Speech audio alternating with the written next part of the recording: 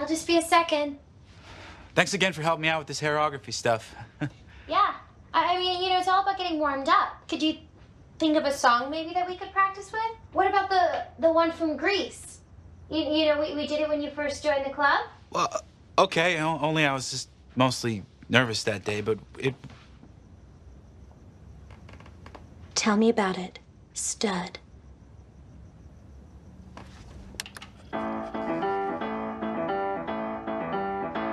I got chills, they're multiplying, and I'm losing control.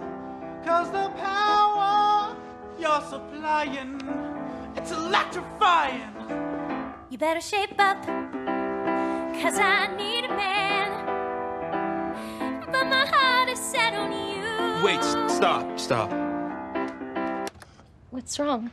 I need to be honest with you. I'm, I'm really uncomfortable right now, and I'm, I'm gonna say this as nicely as I possibly can, but you look like a sad clown hooker.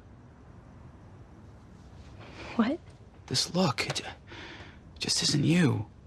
I mean, maybe when I first saw it, I was caught off guard by the fact that you looked all adult and stuff, but it's not what's really great about you, Rachel. I actually like the way you usually dress. Sequin leg warmers and stuff. I thought this is what you liked.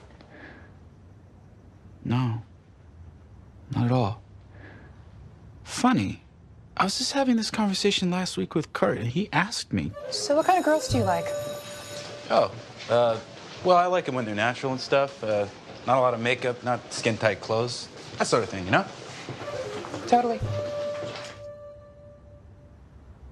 I feel like an idiot. No, no, this is my fault. It isn't right for me to be here anyway.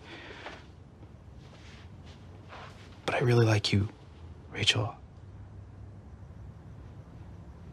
I gotta go.